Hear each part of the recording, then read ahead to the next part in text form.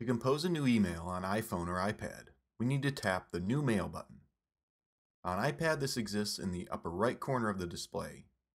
On iPhone, we can find it in the lower right. Tap and a new message panel slides up. Then we can start entering an address or name in the To field here. As I enter the name Mike, saved contacts and addresses that I previously sent emails to will pop up as options. To send to one of these, just tap to add them into the To field. To enter a different email address, just keep typing it.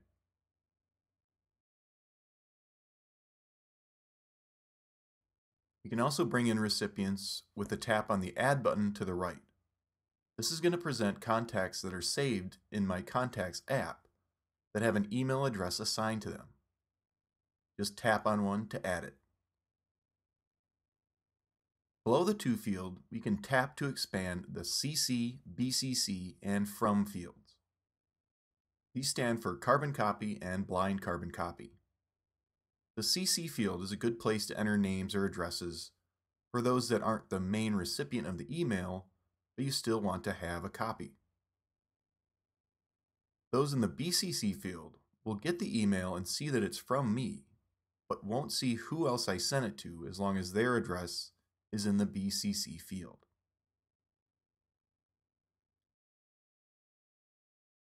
Tap in the From field and I can switch from sending this with my iCloud account to my Google account.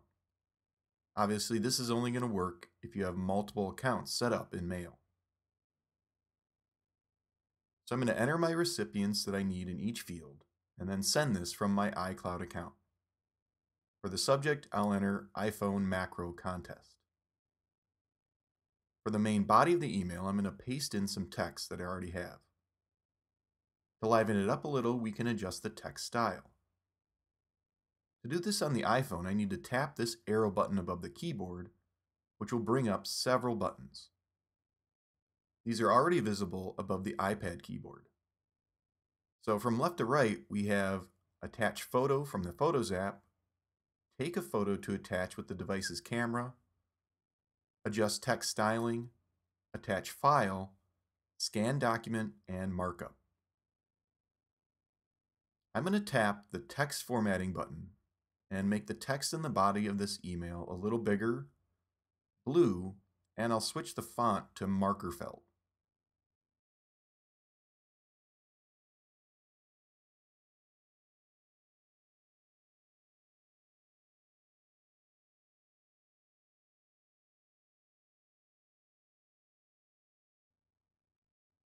Next, let's attach a couple photos to this message. Depending on where the images are saved, we'll either want to tap the Attach Photos button or the Attach File button. In this case, the images are saved in my Photos app, so I'll tap Attach Photos. This brings us into a mini Photos browser. From here, we can quickly tap on images to add them, or tap All Photos to expand the browser. From here, I can browse the entire library, view albums, or do a search. Tap on an image that you want to attach.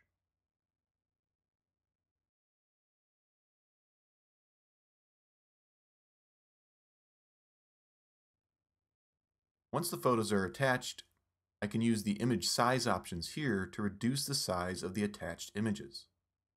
Currently, actual size is selected, which will send the images in the highest quality, but they'll also take up more space and potentially take longer to send.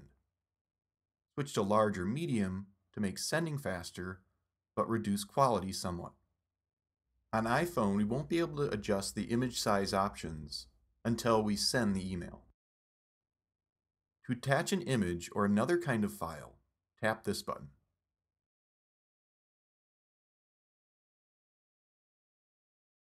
From here, we can browse all the files stored in the Files app on this device or within iCloud Drive. I'll attach one PDF and one other image.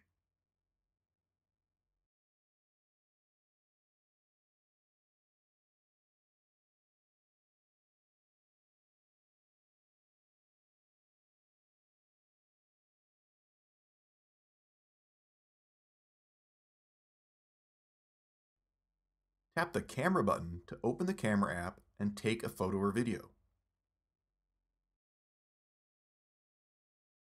Once shot, tap Use and the photo is then attached to the email.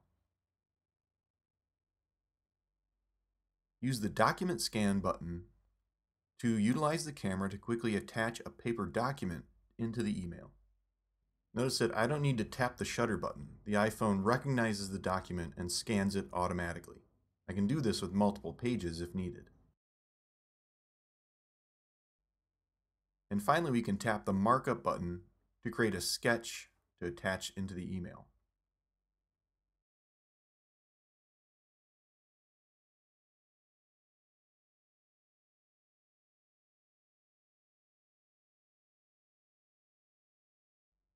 When you're ready, click the Send button, which is represented by this blue up arrow.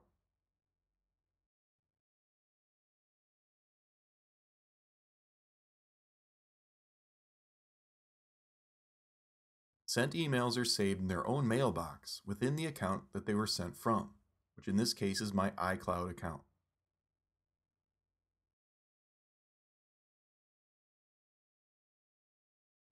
If we tap on the Cancel button while composing an email, it can then either be saved as a draft or deleted.